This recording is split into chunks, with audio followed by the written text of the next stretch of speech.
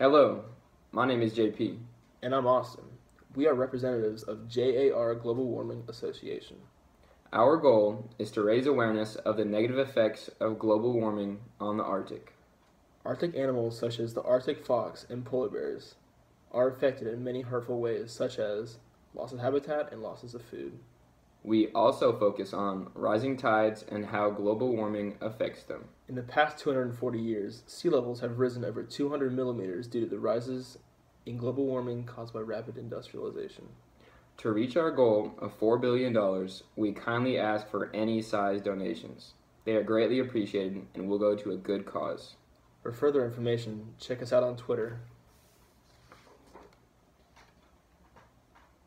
Thank you.